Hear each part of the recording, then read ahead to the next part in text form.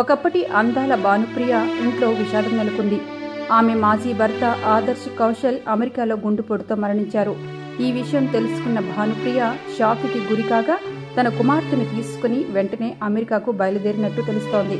పంతొమ్మిది వందల తొంభై ఎనిమిది జూన్లో అమెరికాలోని కానిఫ్లోరియాలో శ్రీ వెంకటేశ్వర ఆలయంలో వీరి వివాహం జరిగింది.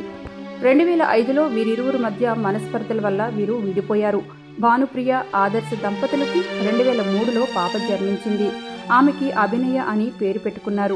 వృత్తిపరంగా ఆదర్శ్ కౌశల్ ఒక ఫోటోగ్రాఫర్. భర్తతో విడాకుల తర్వాత కూతురుతో పాటు ఇండియాకి వచ్చింది భానుప్రియ.